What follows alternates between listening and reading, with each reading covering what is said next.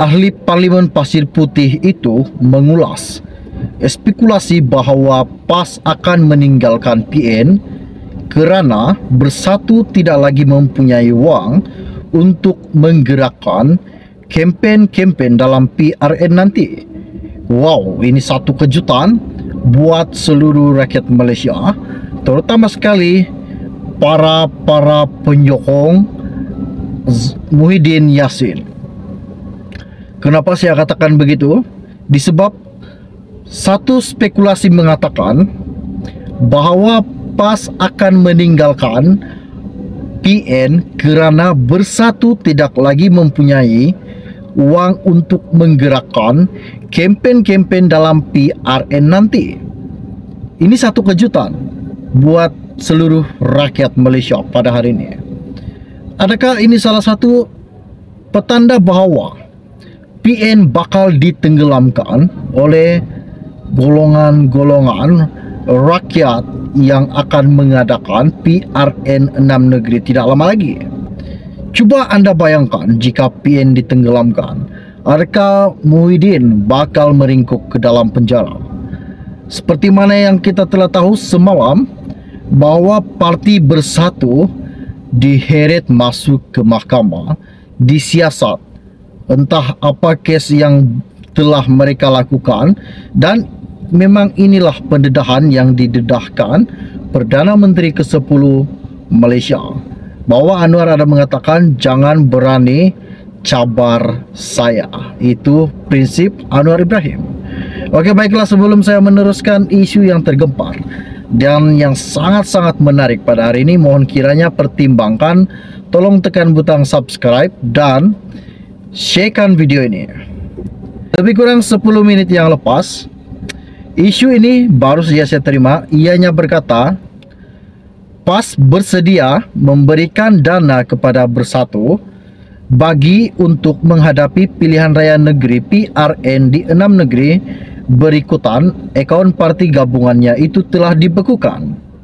Menurut Ketua Dewan Ulama PAS, Nik Muhammad Zawawi Saleh, tidak kira untuk apapun, partinya akan sentiasa menyokong sekutunya dalam Perikatan Nasional PN bagi mendapani PRN 6 negeri yang akan datang ini. Katanya, pas ini banyak duit, kalau bersatu tiada duit, maka kita boleh beri duit. Tetapi tidak kiralah untuk apa-apapun selepas ini duit banyak sahaja yang akan diberikan oleh ahli-ahli PAS. Sebenarnya PAS tidak memerlukan satu jumlah yang besar pun.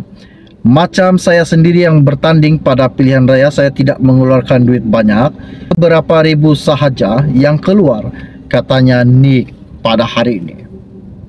Ahli Parlimen Pasir Putih itu mengatakan dan mengulas spekulasi bahawa PAS akan meninggalkan PN kerana bersatu tidak lagi mempunyai wang untuk menggerakkan kempen-kempen dalam PRN nanti.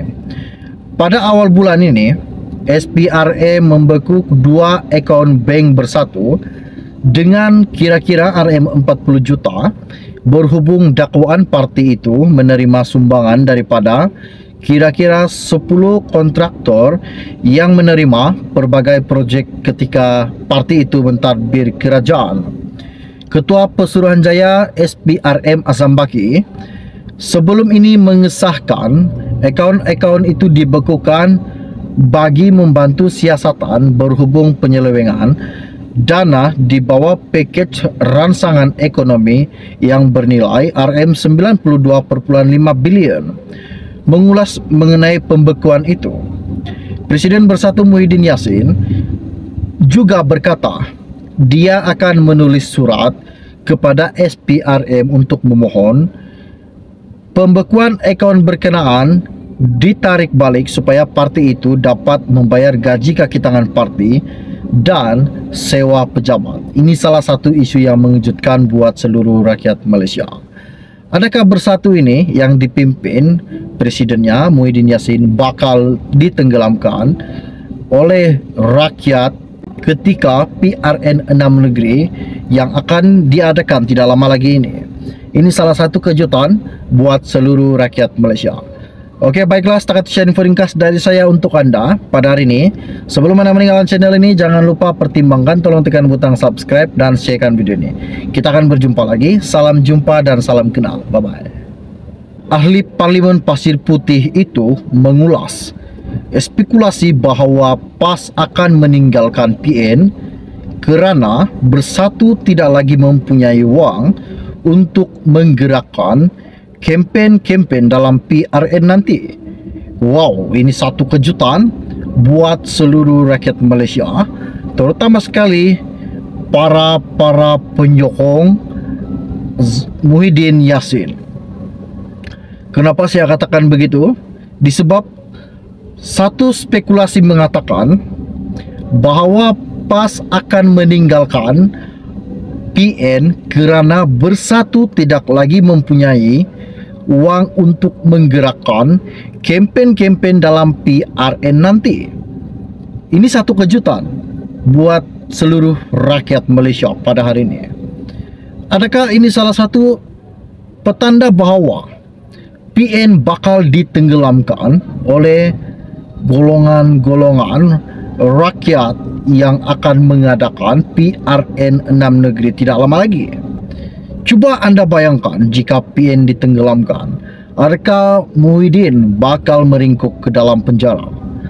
Seperti mana yang kita telah tahu semalam, bahawa parti bersatu diheret masuk ke mahkamah, disiasat, entah apa kes yang telah mereka lakukan dan memang inilah pendedahan yang didedahkan Perdana Menteri ke-10 Malaysia bahawa Anwar ada mengatakan jangan berani cabar saya.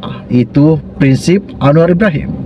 Okey baiklah sebelum saya meneruskan isu yang tergempar dan yang sangat-sangat menarik pada hari ini mohon kiranya pertimbangkan tolong tekan butang subscribe dan sharekan video ini. Lebih kurang 10 minit yang lepas isu ini baru saja saya terima ianya berkata PAS bersedia memberikan dana kepada Bersatu bagi untuk menghadapi pilihan raya negeri PRN di enam negeri berikutan akaun parti gabungannya itu telah dibekukan. Menurut Ketua Dewan Ulama PAS, Nik Muhammad Zawawi Saleh, tidak kira untuk apapun, partinya akan sentiasa menyokong sekutunya dalam Perikatan Nasional PN bagi mendapati PRN 6 negeri yang akan datang ini. Katanya, pas ini banyak duit, kalau bersatu tiada duit, maka kita boleh beri duit. Tetapi tidak kiralah untuk apa-apapun selepas ini, duit banyak sahaja yang akan diberikan oleh ahli-ahli PAS. Sebenarnya PAS tidak memerlukan satu jumlah yang besar pun. Macam saya sendiri yang bertanding pada pilihan raya, saya tidak mengeluarkan duit banyak. Beberapa ribu sahaja yang keluar, katanya Nick pada hari ini. Ahli Parlimen Pasir Putih itu mengatakan dan mengulas sirkulasi bahawa PAS akan meninggalkan PN kerana bersatu tidak lagi mempunyai wang untuk menggerakkan kempen-kempen dalam PRN nanti. Pada awal bulan ini, SPRA membekuk dua akaun bank bersatu dengan kira-kira RM 40 juta berhubung dakwaan parti itu menerima sumbangan daripada kira-kira 10 kontraktor yang menerima pelbagai projek ketika parti itu mentadbir kerajaan. Ketua Pesuruhanjaya SPRM Azambaki sebelum ini mengesahkan akaun-akaun itu dibekukan bagi membantu siasatan berhubung penyelewengan dana di bawah pakej ransangan ekonomi yang bernilai RM92.5 bilion mengulas mengenai pembekuan itu. Presiden Bersatu Muhyiddin Yassin juga berkata dia akan menulis surat kepada SPRM untuk memohon pembekuan akaun berkenaan ditarik balik supaya parti itu dapat membayar gaji kaki tangan parti dan sewa pejabat. Ini salah satu isu yang mengejutkan buat seluruh rakyat Malaysia. Adakah bersatu ini yang dipimpin presidennya Muhyiddin Yassin bakal ditenggelamkan oleh rakyat ketika PRN 6 negeri yang akan diadakan tidak lama lagi ini. Ini salah satu kejutan buat seluruh rakyat Malaysia. Okey, baiklah setakat share info ringkas dari saya untuk anda pada hari ini. Sebelum anda meninggalkan channel ini, jangan lupa pertimbangkan tolong tekan butang subscribe dan sharekan video ini. Kita akan berjumpa lagi. Salam jumpa dan salam kenal. Bye-bye.